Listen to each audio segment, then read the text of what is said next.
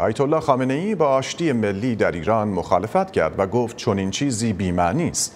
آشتی ملی پیشنهاد محمد خاتمی رئیس جمهوری سابق ایران بود که حدود یک هفته پیش اعلام شد.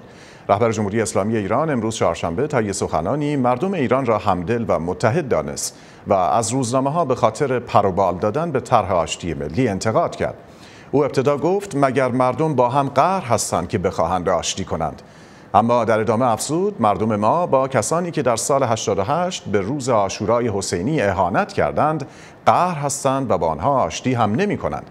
محمد خاتمی با اشاره به آنچه تهدیدهای مطرح شده علیه ایران از سوی دولت جدید آمریکا توصیف کرده بود گفت که اکنون بهترین زمان برای آشتی ملی است تا همه در صحنه سیاست حضور داشته باشند به نظر می رسد هدف مطرح کنندگان موضوع آشتی ملی در نهایت رفع حصر از رهبران اعتراضات سال 88 و بازگشت اصلاح طلبان به عرصه سیاسی ایران باشد.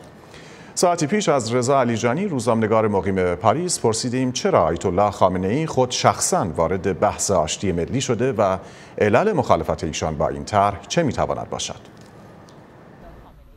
بحث آشتی ملی یا همبستگی یا رفاق ملی یک تجربه شد و اون اینکه وقتی یک شعار درست در یک زمان نادرستی مطرح بشه خب پیش نخواهد رفت. قابل پیش بینی هم بود که آقای خامنه‌ای خودش رو خب قادر مطلق می‌دونه تو حکومت مخالفین خودش رو یه اقلیت ناچی و بیپایگاه اجتماعی. اما این شعار خب به در فضای سیاسی به ویژه در درون حکومت از طرف میان روحهای های مختلف مورد استقبال قرار گرفت. آقای خامنه هم به سرعت در برابرش موضع گرفت که سر این بحث رو ببنده و در حال نظره که تبدیل به موج حداقل رسانه‌ای گسترده در درون حکومت بشه. اما خود همبستگی ملی پیشبست اولا ملی باشه یعنی همه رو در بر بگیره و ثانیا در حال بایستی مورد بحث یعنی همبستگی ملی و توافق و ملی از یک گفتگو شروع میشه و با نسبت یک قدرت اجتماعی هم پشتش باشه.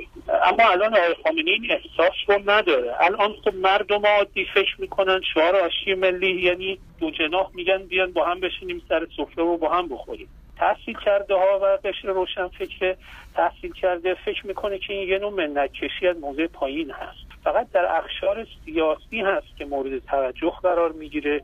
هرچند به صورت دراز مدت همبستگی ملی یک ارزش اجتماعی است. همچون آزادی همچون عدالت همچون امنیت همچون رفاه عمومی.